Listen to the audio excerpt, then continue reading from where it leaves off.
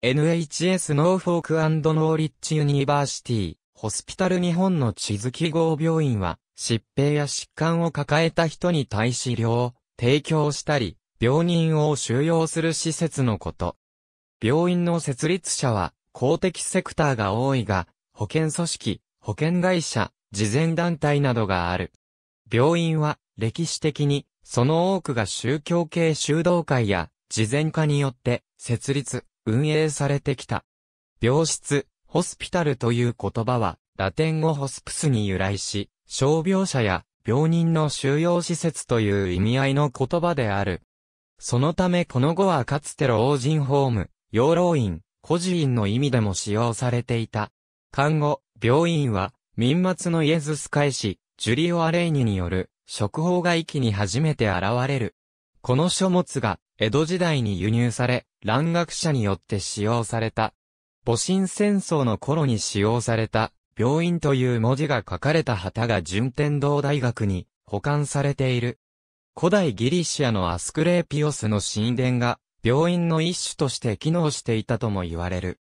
また、北県、仏国記によれば、西暦400年頃のインドでは、福徳医薬者が建てられて、病人や、不具者、孤児、貧窮したものなどを集め、治療したり食事を与えたりしていた。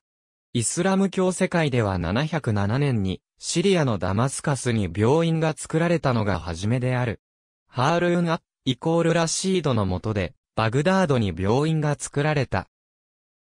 西洋のキリスト教世界では修道女、修道士が神に仕えるために病人を集めて日常生活上の世話をした。これは看護活動の原点でもある。宗教改革以降、プロテスタントの地では、宗教から病院が切り離されるようになった。18世紀以降、病院は貧民救済から離れて、もっぱら病気や怪我の治療のために使われるようになり、専門化していった。19世紀のフローレンス・ナイチンゲールは、看護にも職業的訓練が必要なことを明らかにした。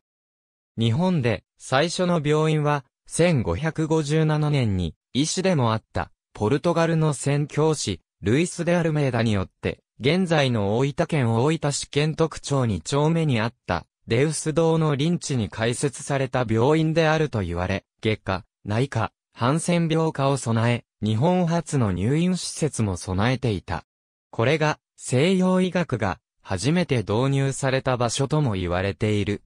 戦時国際法では、病院への攻撃は禁止され、戦争犯罪である。OECD 諸国の人口あたり、ベッド数。米国で最も優れた病院には、US ニューズワールドレポート誌では、名誉クリニックが選ばれた。民間企業では、ホスピタルコーポレーションオブアメリカは、ニューヨーク証券取引所に上場している。タイでは、バムルンラート病院などが上場され、同国の株価指数である、セット指数の構成銘柄に採用されている。料金の支払いには、上賃基本医療保険加入者であれば、医療保険カードが使用できる。アイヘルスケアが、マレーシア証券取引所及び、シンガポール証券取引所に上場しており、同社は多国間展開するアジア最大の病院経営者である。医療法においての病院とは医療機関の機能別区分のうちの一つ。日本では医療法上一定規模以上の医療機関を病院と言い、小規模のものは診療所として病院との故障を使えないことになっている。ただし、医療を施す場所との意味合いから、病院、診療所を問わず、医院と称することもある。病院は、傷病者が科学的でかつ適正な診療を受けることができる便宜を与えることを主たる目的として組織され、かつ運営されるものでなければならないとされる。病院とは、医師または、歯科医師が講習または特定多数人のため医業または、歯科医業を行う場所と定義され、病床数20床以上の入院施設を持つものを指す。無償もしくは19床以下のものは診療所となる。近年、日本では医療の普及の影響もあり、病院で一生の最後を終える人が増えてきている。また、人間が生まれる場もほとんどの場合病院、産院である。開設規制日本において、病院の配置は、都道府県の医療計画に基づいて行われ、医療法に基づく、都道府県知事の許可を必要とする。ベッド数が過剰な場合は開設許可を与えないことも可能であり、需要調整がなされている。病院の管理者は原則として、医師、歯科医師でなければならない。多くの病院は、医療法の非営利原則に基づき、地方公共団体、独立行政法人、事務組合や日本赤十字社など公的組織以外には、医療法人、社会福祉法人、宗教法人、共同組合などを中心とした非営利組織にしか設立が認められず、会社組織は例外的に福利厚生を目的とした一部企業や国の特殊法人が管轄した病院を引き継いだ JR、NTT、日本郵政などが設立した病院が存在する。ただし例外として、歴史的な経緯から株式会社として運営されている病院がある。これは医療機関運営に株式会社が参入しているケースとは言えないので例外である。なお、個人病院という表記が時々見受けられるが、純粋な個人病院は下記の種類の中の個人となっている非法人立病院の病院である。一人医師医療法人立病院などを個人病院と表記するのは異なっている。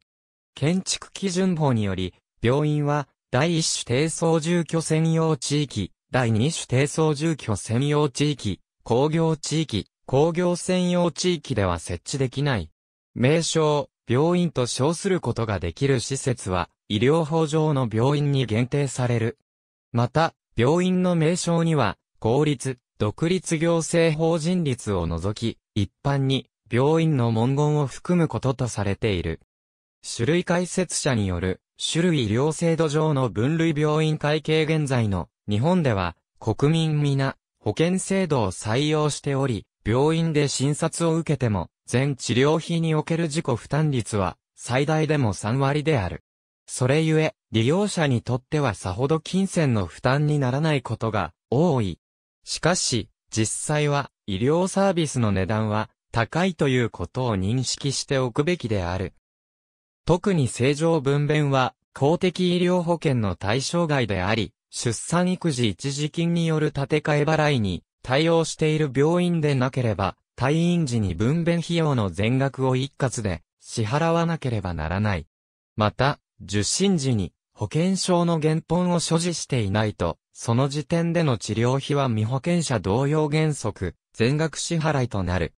そうなった場合、その際の領収書を所定の申請書に添えて、保険者に提出することで、原則本来の自己負担分を差し引いた金額が払い戻される。最近では負担するべき3割負担の治療費でさえ未払いするなど社会問題となっている。このままでは公的な医療サービスの水準は崩壊の危機がある。医療法上は正当な理由がない限り受診拒否はできず、未払いを理由とする受診拒否はできないと通達上されているため、保険者側、病院側双方からブラックリスト対象にならないように健康を保つか、お金を管理しなければならない。クレジットカード、デビットカード決済2004年頃から、ビザインターナショナルの CM で、病院での支払いも、ビザでというキャッチで流されたが、医療費の支払いが高騰化した現代、外来での会計は1件あたり1万円以内の。金額が多数であっても、入院治療費用の支払いでは1件あたり数万円100万円超と高額であるため、現金が手元にない時にクレジットカードで建て替え、払いできるという潜在的ニーズと、そのニッチな分野でのクレジットカード会社の加盟店、手数料収入が大きく見込める点から、2004年から全国の国立病院機構、赤十字病院、労災病院のほとんどが、クレジットカード、デビットカードでの支払いに対応した。国の機関の場合、金銭の収納は原則として現金に限るため、クレジットカード等での支払いはできなかったが、国立病院の独立行政法人化、国立大学の国立大学法人化により、会計法上の制約が外れ、その国立病院が、クレジットカードの取り扱いを始めたことから、公立、民間の他の病院も追随することとなった。特に、病院に設置された銀行の ATM が撤去されるケースが増えていることも、クレジットカード対応を加速している。近年、治療費の支払いを ATM 様の機械で行う自動生産機が導入されている病院があるが、そこでカード決済を行う際は、カードの暗証番号入力が必要である。なお、以前から、もともと治療費が高額で、決済金額の5%から10%程度のクレジットカードの利用手数料を支払っても構わない人間ドック、歯科、美容整形外科などの各専門クリニック、病院では独自にカード会社と加盟店契約をして取り扱えたが、どちらにしても2004年以降、私立病院、大学医学部附属病院を中心に普及し始めているほか、東京大学医学部附属病院とライフの提携カード、ユートムカードでは、外来時の診療、検査終了後に会計計算窓口に立ち寄らず、待たずにそのまま帰宅する、エクスプレス会計というポストペイサービスを提供しており、他病院への汎用化も検討しているとプレスされている。OECD 各国の平均入院日数病院の業務は、健康上の問題を持つ人の診療が主である。患者の急性期、亜急性期、慢性期等の状態に応じて、継続的な看護もしくは観察の必要がある患者について入院過療を行う。その一方で、特に慢性期、介護療養医療施設等においては、認知症や麻痺、精神疾患などのため一般社会で生活していくことが困難な人が医学的必要性の有無に関わらず、病院に長期入院せざるを得なくなる状況があり、これらはドイツでは病院御用、日本では社会的入院として知られている。特に日本の病院は平均入院日数の長さが指摘されており、長年 OECD 中1位を維持している。これは健常者以外を社会に受け入れることが困難な日本の福祉体制を反映するものとなっている。とりわけ入院患者の約1、3は精神科病棟の入院者であり、こうした状況を日本医師会会長、竹見太郎は、精神医療は牧畜業だとカッパした。OECD は日本の状況を患者を入院させたままにすることは病院収入を増やす簡単な方法である。日本の精神保健政策は他国に比べ、脱施設化が遅れており、精神科病床の多さなど悪い意味で突出している、などと報告している。医療行為とは、古くから行われている、伝統的な行為であるので、病院に関しても長い歴史の中では、世界遺産となったものもある。メキシコのオスピシオ・カバーニャスやスペインのサンパウ病院、トルコのディブリーイの大モスクと病院が良い例である。近代までは、病院とはほとんど治療の場というより、感染症患者や精神病患者を隔離する、あるいは貧しい患者に食事とベッドを提供するという役割の方が大きかった。そのため、貧困層向けの病棟は常に定員オーバーであり、一つのベッドを数人が共有するということも行われており、現在も途上国では同様であることが多い。これに対し裕福な層は、自宅で療養し、医師の往診を受け、メイドによる介護を受けていた。これと同等に近い環境を目指し、治癒を目的とした病院を提唱したのが、フローレンス・ナイチンゲールである。彼女の提唱したナイチンゲール病棟は、二十数人程度の患者を一つの看護単位とし、限られた看護師しかいない状況でもできるだけ手厚い看護と治療を受けられるようにしたものである。20世紀に入ると、病院もモダニズム建築の影響を受ける。20世紀前半には、学校や拘置所、刑務所といった施設と同じような設計思想で作られていた。すなわち最高を良くするために細長いフロアで、中廊下型が多く、病室と並ぶ形で、ナースステーションが存在した。20世紀も後半に入ると、アメリカ合衆国を中心に、病院に特化した設計思想が生まれてくる。ナースステーションから各病室への距離を縮めるために、フロアの中心に置き、さらにフロアの形状も、円形や三角形、多角形などとして動線が工夫された。全室を個室や二人部屋以下とするのも、一つには、動線の短縮のためである。